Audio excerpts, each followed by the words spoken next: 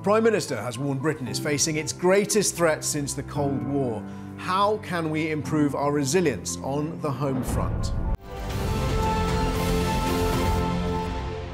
I'm Jerome Starkey. This is World at War, and my guest today is General Sir Richard Barrons, one of Britain's foremost military minds and a former Joint Chief of Britain's Armed Forces. General Sir Richard, welcome to World at War. Thank you. Is Britain ready for the threats that we keep hearing that we are facing? No, of course, Britain is, is, is not ready for the world our government is saying that we now inhabit. The government is saying we're, we're pre war, that we've got to deter countries like Russia and be prepared to go to war. And if you go to war, that means you must be capable of sustaining real hardship at home. That's what resilience is. But the fact is, for the last 30 years since the end of the Cold War, we've not worried about being invaded or fired at or our daily life being taken apart. And now we're going to have to rethink that from scratch. Let me start there with the government's assumptions. Are they scaremongering? Is this political manoeuvring? We've got an election coming up. The Conservatives want to look tough on defence. We've heard about an increase in defence spending. Do you, do you agree with their characterisation of the threat? Is it accurate? I, I absolutely agree. I think this is something that has been evolving for at least 10 years. One benchmark would be the Russian invasion of Crimea.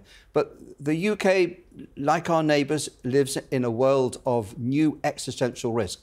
And it's a combination of a multipolar world, the rise of, of China, the behaviour of countries like Russia, but also the instability that's going to be caused for sure by population growth and climate change, and then all the effects of the digital age and the evolving proliferation of nuclear weapons. So th th this is not the safe, comfortable world that we felt when Russia, quote, went away in 1990.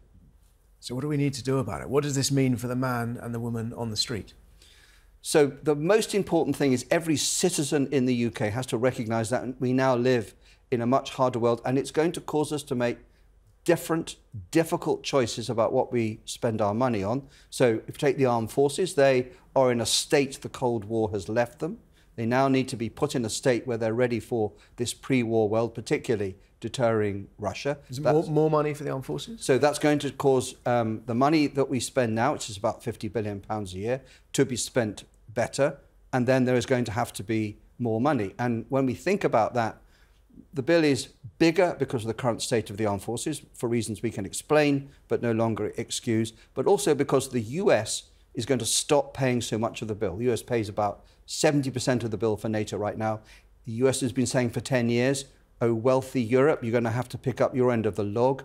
And whatever the outcome of the US election this year, that's going to be true. So the bill will get better.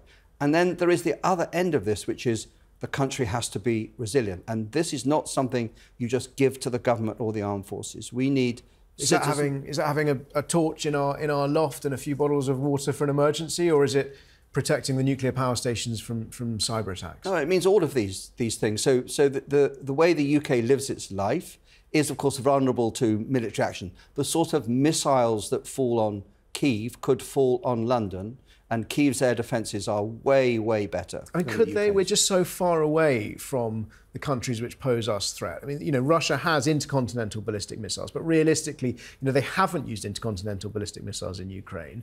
They, they've used tactical ballistic and cruise missiles.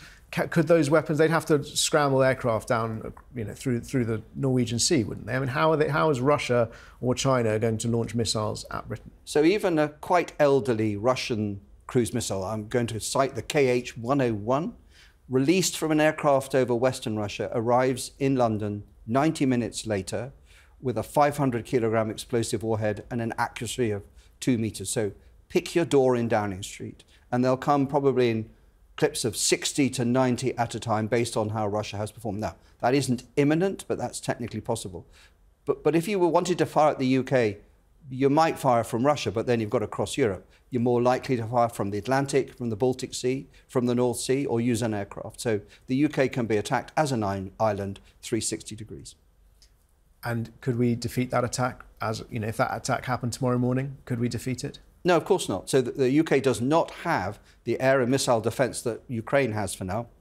We've not needed it. There's a big conversation going on in government about how you do that. It's quite a big problem. It's probably a four billion pound problem, but it's going to be part of this, uh, of this age. But that's just the armed forces part. What, what we also need to think about are citizens who are braced for this sort of difficult world where maybe they wake up one morning and there's no electricity or there's no water or the supermarket distribution systems have been broken or the banking system is down or the Wi-Fi doesn't work and, and they need to play their part in it because you can't just ask the government to fix that, although the government's got a big role to play. But, I mean, is that just a state of mind? Have people got to be, you know, do you mean the, the scouts mentality?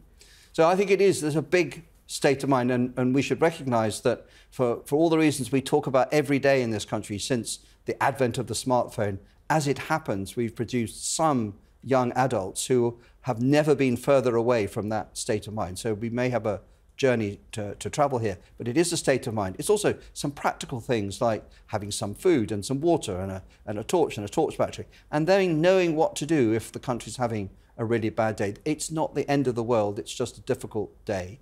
And everyone then plays their part in fixing it. And, and this happens in the physical arena, you know, um, safety, the functioning of infrastructure. It happens in, in, in the cyber world, the networks we rely on. And then vitally, it happens in the cognitive domain, the things we get from our phones. And we have got to be resilient enough to either trust or not trust what, what our phones are telling us and, and behave as responsible adults. And I think some of the Scandinavian countries have encouraged people to get radios, old-fashioned sort of transistor radios. Uh, what, what, simple steps could people take in this country? What, I mean, what, what, tell me, what, what do you do to be in order to be resilient? So, without becoming the total prepper, um, I think it's important that people recognise our modern daily life is quite fragile. So just have a few things in the cupboard that will get you through 48, 72 hours of the shops being shut or no water or no power. But mostly this is about adults thinking, well, this actually could happen. Um, and, and our part in it is to be resilient in the same way that we need companies and institutions and governments to be ready for their part in a harder world. This, this is a team effort.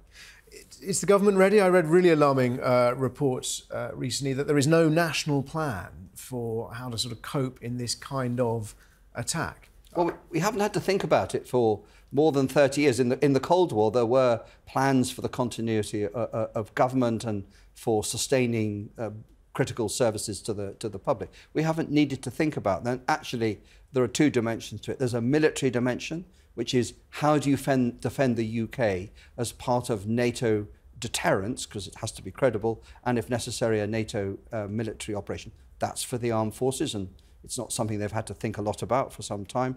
And then there is this vital part that the UK must recognise that if you're a country like Russia and you want to deflect the UK from asserting its interests and, and, and its values, the target's not going to be the armed forces. The target is the man and woman in the street who who, if they're not strong enough, simply complain to the government and ask them to just give up.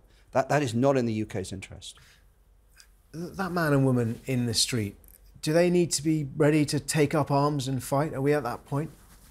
So, if you look at the war in Ukraine, we're being reminded that really big wars for the survival of your country are fought, won, and lost by civil society mobilized and, uh, and industry. And the regular armed forces have an important part to play, but it's quite a small part to play.